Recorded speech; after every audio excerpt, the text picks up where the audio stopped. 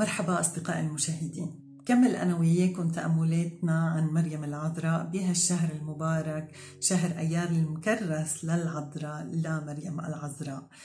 اليوم التأمل رح يكون من رسالة كتبها البابا القديس يوحنا بولس الثاني بعنوان كرامة المرأة وهي رسالة بابوية.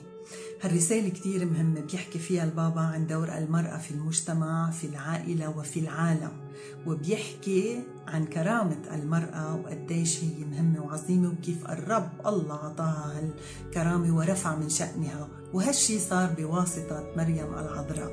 وبيبلش الرسالة البابوية عن أمومة مريم لله اللي هي والدة الله وببلش بحدث الناصرة حدث البشارة. وبيقول ألا نرى في بشارة الناصرة فاتحة لمبادرة الله الحاسمة الجديرة بأن تضع حدا للقلق الذي يساور القلب البشري؟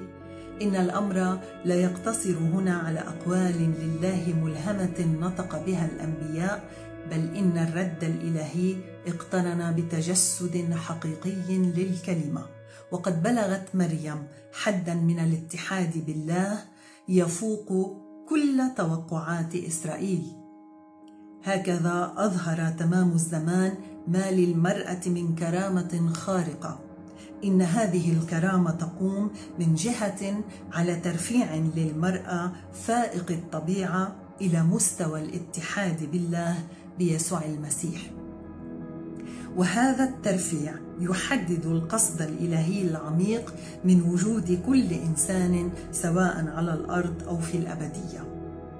ومن هذه الوجهة تكون المرأة هي الممثلة للجنس البشري ونموذجه المثالي وفيها تتمثل الطبيعة البشرية التي ينتمي إليها جميع البشر من رجال ونساء.